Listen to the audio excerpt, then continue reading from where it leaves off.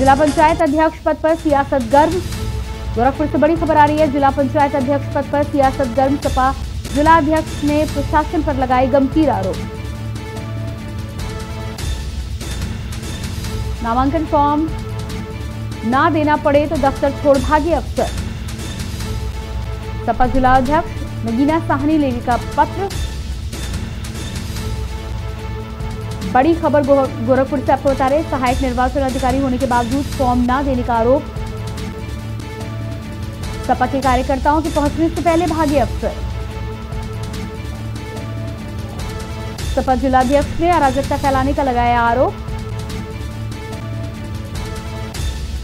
जिलाध्यक्ष ने दफ्तर के बाहर पुलिस बल लगाने की की मांग।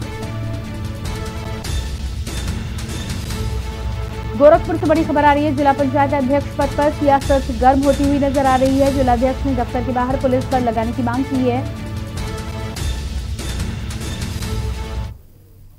और इसके बाद